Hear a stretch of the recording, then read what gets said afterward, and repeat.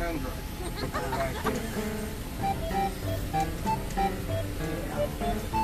Twenty-two. You Got it? it. Do you see it? Yeah. This is our new home for the next week. Christmas in the Keys, baby. Bethy, we're in our happy place.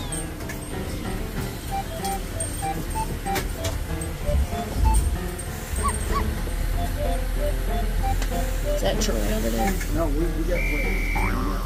Yeah, you're good over here.